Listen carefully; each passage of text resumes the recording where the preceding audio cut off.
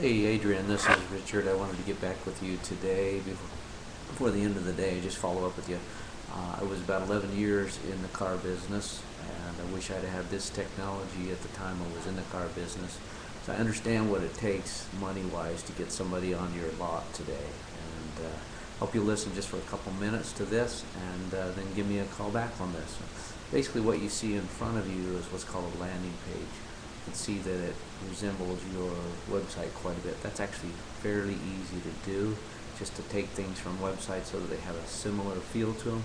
But more importantly is what you can do with this. You can see this videos here. Imagine having a video on your pages that could show maybe a walk around of a particular car that you got, and maybe just you, uh, your, your family, your coworkers, saying thank you for business that you've got, anything you want to do in a video, you can put it onto a page in a matter of minutes.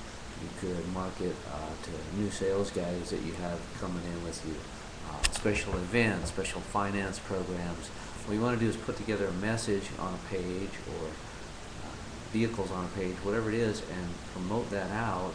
And you'll see to the right of your screen there, under my video, there's a submit form and what we do is we create what's called a hook or a reason for them to fill out that form. Uh, might be you know submit the form to get details on our new uh, finance program or no money down whatever it is. And once they fill out that form what's really powerful is they submit that form your cell phone rings.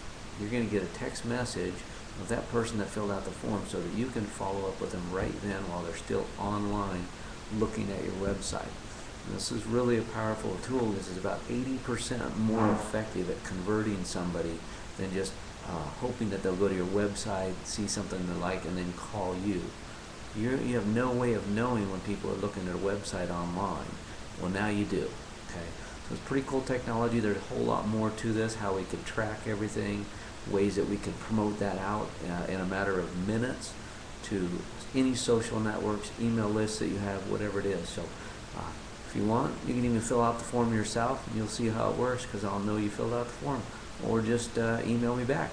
Thanks and uh, talk to you soon.